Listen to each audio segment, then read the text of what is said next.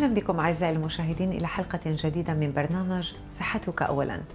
فيتامين حيوي ومهم وهو ضروري لتكوين خلايا الدم الحمراء ويحافظ على خلايا الجهاز العصبي. بالإضافة لأهميته في تركيب الحمض النووي DNA الموجود في جميع خلايا الجسم.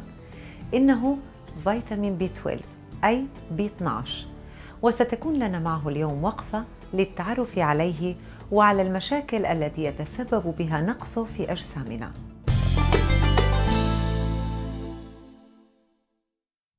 يعاني المصابون بنقص في فيتامين بي 12 من العديد من الأعراض ومنها على سبيل المثال وليس الحصر التعب العام، ضعف الذاكرة، الارتباك الذهني وضعف التركيز، ضعف الرؤية وخاصة في الظلمة، تنمل وخدر باليدين والقدمين، فقدان الشهية، نقصان الوزن جفاف شديد للبشرة وتغير لونها. الشعور بالكآبة والانطواء على النفس والعصبية الإمساك واضطرابات بالمعدة. يوجد فيتامين بي 12 في الأطعمة ذات الأصل الحيواني كالبيض ومنتجات الألبان واللحوم حيث يكون مرتبطا بالبروتين الموجود فيها. لكنه يتحرر منه عندما يهبط إلى المعدة بفضل حامض الكلوريدريك. ولكي يتم امتصاص فيتامين بي 12 جيدا من الجهاز الهضمي يجب أن يتوفر في المعدة كمية معتدلة من حامض كلوريدريك وأن يكون جدار المعدة سليما صحيحا وأن تكون الأمعاء الدقيقة سليمة.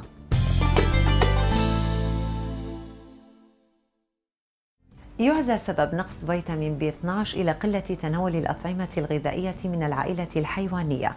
ووجود أمراض في المعدة مثل القرحة أو قلة وجود حامض كلوريدريك اللازم لتحرير فيتامين بي 12 من بروتين الطعام المرتبط به. أو إلى تناول أدوية تسبب أمراضا في المعدة.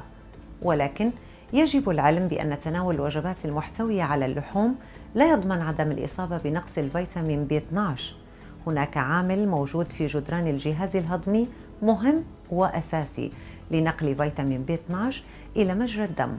ولو نقص هذا العامل فسينقص الفيتامين بي 12 من الجسم. يجب أن يحرص كل من تقدم به السن على تناول الغذاء المنوع الذي يشمل العائلتين النباتية والحيوانية. وأن يتناول مجموعة الفيتامينات والمعادن التي تحتوي على فيتامين بي 12 والعامل المساعد ليؤمن امتصاصها من الأمعاء.